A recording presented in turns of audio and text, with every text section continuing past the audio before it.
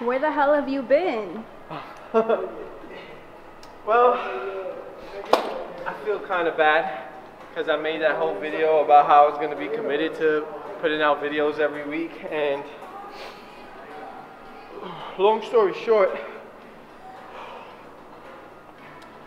without going into too much details, my freaking MacBook Pro got stolen by a dark winged. I mean, talking about the dirtiest, disgusting, most type of person, human being that exists on this planet. And uh, this dirty, dark winged basically stole my MacBook.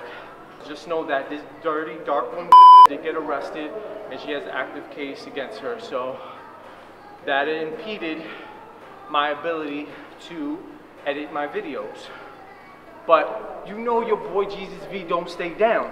So what I did, I busted my ass over here in Fitness Factory because update, your boy's the new fitness manager for all personal training here at Fitness Factory. Applause. Thank you. And uh, basically busted my ass, made some dough, and dropped another on a new MacBook Pro. So there's no, there's no stopping us. So yeah, we had a little hiatus, but this is just a little uh, reintroductory into 2022 because we're gonna keep pushing out content. And that's it, man. Hope you guys have been getting after it. Some of you that are subscribed, you see me in the gym. We're gonna keep pushing out content. Have a good day. Securities. Peace. I just don't know what the, what the fuck it is. Stop saying you don't know, you do know. You're gonna fucking lift it and that's it. Let's go. Come on.